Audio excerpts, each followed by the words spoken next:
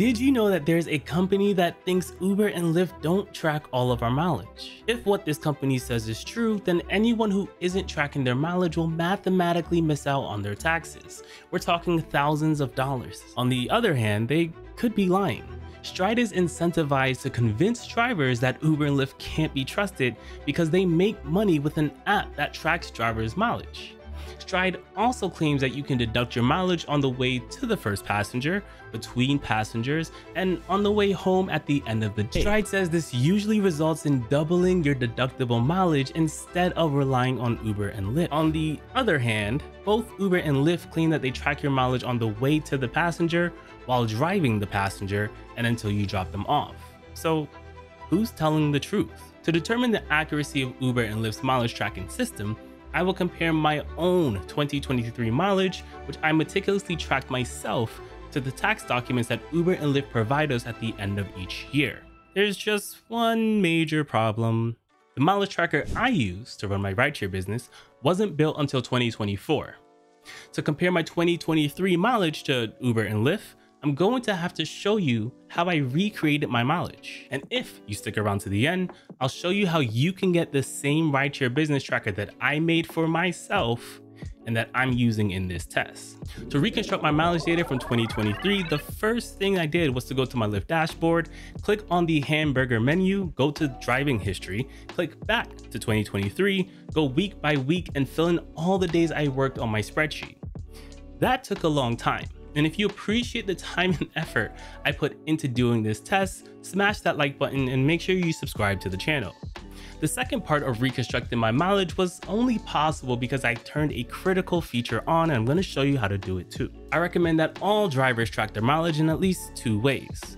One should be manual and the other should be automatic. With the automatic tracker, drivers can reconstruct their mileage just in case they forgot, like I did. The free automatic tracker that I use is Google Maps. Here's a map showing everywhere I've been since I turned this feature on over 10 years ago. To turn this feature on, open the Google Maps app, tap on your profile picture, and in the menu that appears, tap Your Timeline. Click the menu button, tap Location History, and now you can turn it on.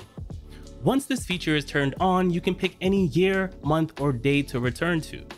Since I listed all of the days I worked with Uber and Lyft on the spreadsheet tracker, all I had to do next was go to that specific day and write down my personal mileage and business mileage.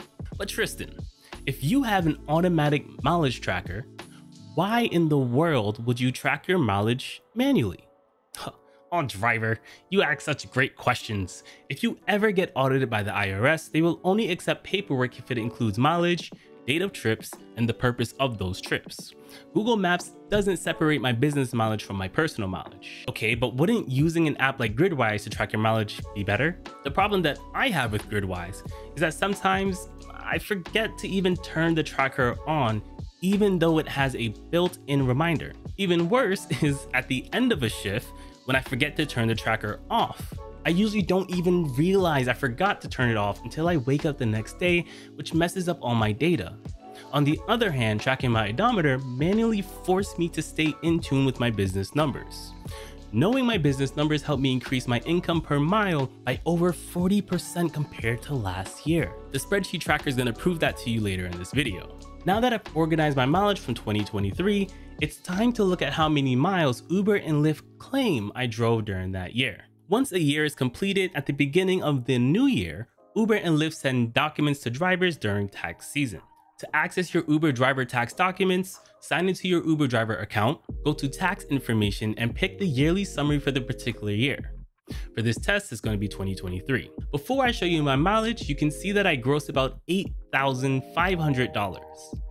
Uber took $3,200, leaving me with roughly $5,000. That's approximately a 40% take rate, which matches Uber's average take rate according to a Forbes study. However, it is essential to note that when Uber first launched, they only took 20% from drivers.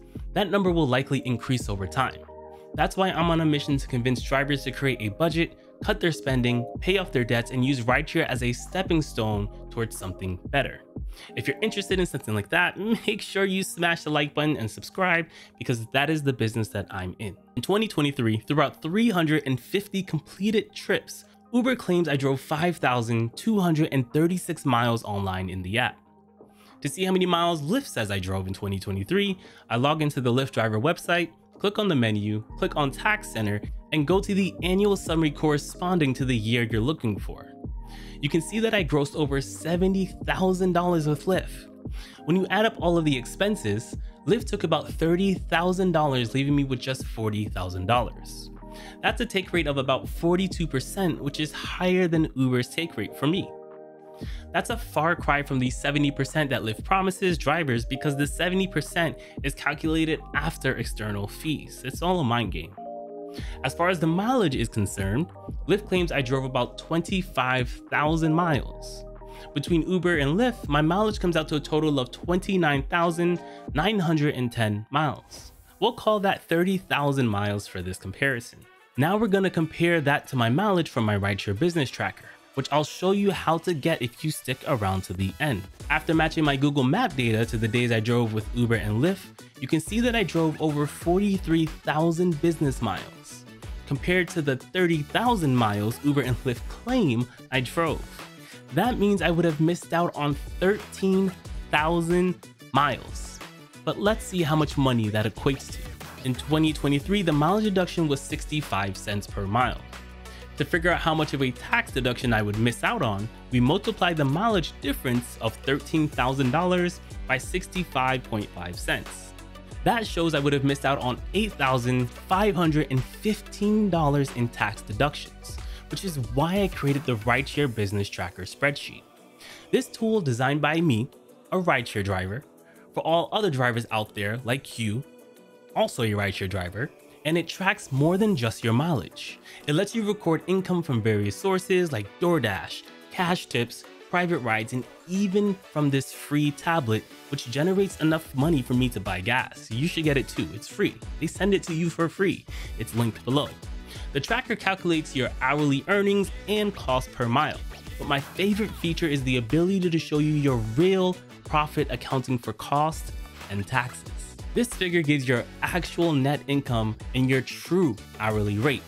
For example, in 2023, I made $1 per mile, but in 2024, I improved my earnings to $1.40 per mile. This 40% increase was possible because the tracker helped me identify areas for improvement. To get this tool, visit futureridesharemillionaire.com and sign up to support the channel. I'm also working on a video to help you predict when and where bonuses will appear. If that video is finished, then it should be on the screen here. And if it's not, just enjoy these other videos that will help you make money too. I'll catch you later.